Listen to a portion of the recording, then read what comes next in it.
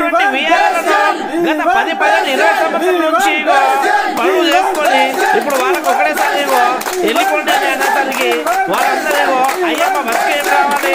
ఇగో మాకు పేసుకేం లేదు. గట్టని ఉద్యోగ భద్రత లేదు. కమస్కం మేము ముసలాం అయిపోతున్నాం. మా ఇంట్లో ఒక పిల్లడి కన్నా ఉద్యోగం ఇగో వాళ్ళు ఏం చేసిందంటే దీక్షకు దిగిందన్నమాట అదే నిరావంతిక దీక్ష అన్నమాట. అయితే వాళ్ళందరినీ మన తెలంగాణ రాష్ట్రంలో ఉన్నటువంటి వీఆర్లు నానా రకాలుగా వాళ్ళ దీక్షను ఇగో వాళ్ళు వ్యక్తపరుస్తూనే ఉన్నారు. ఇగో మన కుబీర్ మండలంలో ఇగో అందరూ బట్టలు తీసేసి అర్ధనగ్న దీక్ష చేసిందన్నమాట గాడికెళ్ళి ఇగో మన ఈ కార్యక్రమంలో మన భీమాని టీం మొత్తం వచ్చి వాళ్ళకి ఇగో సంఘీభావం చెప్పింది. అదే విధంగా మన బాసర జడిపెట్టేసి రమేష్ అన్న గారు కూడా ఇగో వీళ్ళకు సంఘీభావం తెలపడం జరిగింది. అదే విధంగా ఈ కార్యక్రమంలో వాడేకర్ లక్ష్మణ్ గారు హౌజేకర్ ప్రకాష్ గారు సాహెబ్రావు గారు సాయినాథ్ గారు సచిన్ గారు పాల్గొనడం జరిగింది. దీనిని రాష్ట్ర ప్రభుత్వం వెంటనే అమలు చేయాలని సంఘీభం తెలుపుతున్నారు. జై భీమ్! వి వన్! వి వన్! వి వన్! విఆర్ఎల్ ఐక్యత! విఆర్ఎల్ ఐక్యత! కుబీర్ మండలంలో ఇరవై ఐదు మంది విఆర్ఏలు పనిచేస్తున్నారు. వీళ్ళు రాత్రి అనక పగలనక వీళ్ళ కష్టం కష్టానికి వీళ్ళకి ప్రతిఫలం లేకుండా వీళ్ళు పదవ రోజు ఈ రోజు వంట వార్పులు చేసుకుంటా ఇక్కడనే భోజనం చేసి ఇక్కడనే వాళ్ళు బస చేసేటువంటి పరిస్థితి మన తెలంగాణలోనే మాత్రమే ఉందని ఈ సభాముఖంగా తెలియజేయడం జరుగుతుంది. వీళ్ళకు వీళ్ళు ప్రభుత్వానికి డిమాండ్ చేసేది ఏంటిదంటే ఓన్లీ ఉద్యోగ భద్రత. వీళ్ళకి ఎవరికైతే యాభై ఐదు సంవత్సరాలు నిండుతాయో వారి కుటుంబంలో ఒకరికి ఉద్యోగము వీళ్ళకి ఉద్యోగ భద్రత తర్వాత పే స్కేలు అమలు చేయాలని వీళ్ళ యొక్క ముఖ్య ఉద్దేశంతో వీళ్ళు నిరవాధిక సమ్మె ఈ రోజు పదవ రోజుగా కొనసాగడం జరుగుతుంది కుబీర్ మండలం లోపల. వీళ్ళకు మేము సాంఘీభావంగా ఈరోజు వచ్చి వీళ్ళకు మద్దతు మా తరపు నుంచి తెలంగాణ రాష్ట్రం భీమార్మి తరపు నుంచి తర్వాత నిర్మల్ జిల్లా తరపు నుంచి కుబీర్ మండలం తరపు నుంచి వీళ్ళకు తెలియడం జరుగుతుంది.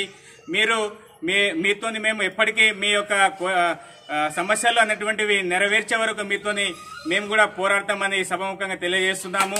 మేమే కాకుండా తెలంగాణ రాష్ట్రము తర్వాత మా చీఫ్ భీమార్మీ చీఫ్ అయినటువంటి చంద్రశేఖర్ ఆజాద్ గారు కూడా మీకు మద్దతుగా తెలుపుతున్నారని ఈ సందర్భంగా తెలియజేస్తున్నాము మాకు తెలంగాణ రాష్ట్రం భీమార్మీ వాన మహేందర్ గారు మా ఆదేశాల అనుసారం వారి యొక్క ఆదేశాల అనుసారం మీ మీకు మద్దతు ఈరోజు మేము తెలియడం జరుగుతుంది. మీ మీ యొక్క పోరాటం ఇంకా కొనసాగుతుంది. కొనసాగకుండా ఇక్కడికే ఆపి తర్వాత కూడా ప్రభుత్వం కూడా వీళ్ళపైన కొంచెం చర్య తీసుకొని వీళ్ళకి తక్షణమే ఇప్పుడే వీళ్ళకు జీవో అమలు చేయాలని ఈ సభముఖంగా ప్రభుత్వానికి తెలియజేయడం. బాబాసాహెబ్ అంబేద్కర్ డాక్టర్ బిఆర్ అంబేద్కర్ ఇక్కడ ఆఫీసులో ఉన్న తహసీల్దార్కు ప్రాబ్లమే విలేజ్లో ఉన్న సర్పంచులకు ప్రాబ్లమే ప్రతి ఒక్కరికి ప్రాబ్లమే. ఎందుకంటే వాళ్ళు దీక్షలో కూర్చుంటారు కాబట్టి ఏ పని ముట్టుకుంటలేరు. ఇక్కడ ఎంఆర్ఓ ఆఫీసులో నీళ్ళు గ్లాస్ ఇవ్వడానికి లేరు ఒక ఫైల్ తీసుకోవడానికి కూడా వ్యక్తులు లేరు. నేను అక్కడ అన్ని మండలాల్లో తిరుగుతాయి. కాబట్టి ప్రభుత్వం గతంలో ఇచ్చిన ఆమెనే వాళ్ళు అడుగుతుర్రు మిగతా ఏమో అడుగుతలేరు.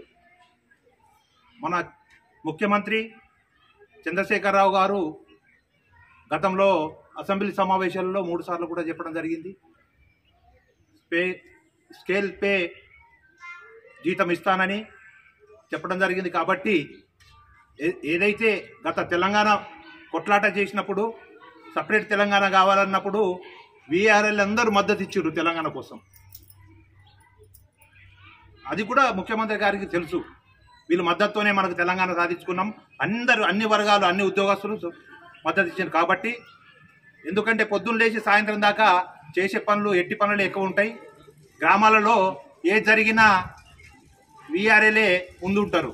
తహసీల్దార్ వచ్చినా పోలీస్ ఇన్స్పెక్టర్ వచ్చినా ఏదో పండుగ అయినా మన ఎవరు చనిపోయినా అన్నిట్లో పాలు పంచుకుంటారు. కాబట్టి వాళ్ళకు జీతాలు సరిపోవు. ఈరోజు ఇచ్చేది పదకొండు వేలు. దాదాపు రోజుకు మూడు వందల రూపాయలు పడుతుంది.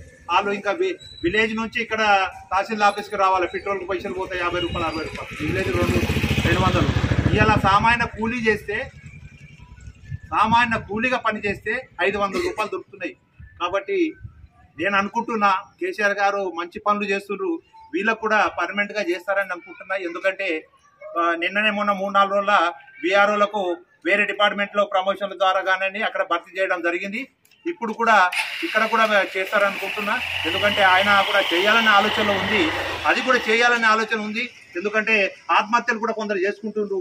దాన్ని ఇంకా దాన్ని ముందు పోనీయకుండా కేసీఆర్ గారికి కోరేది ఒకటే. ఎందుకంటే మన ప్రభుత్వం చాలా మంచి పనులు చేస్తున్నది.